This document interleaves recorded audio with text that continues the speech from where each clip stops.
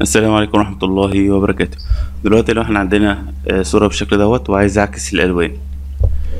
بكل بساطة بروح الايمج adjustment وأقول له invert. فتلاقي الألوان اتعكست بالشكل دوت.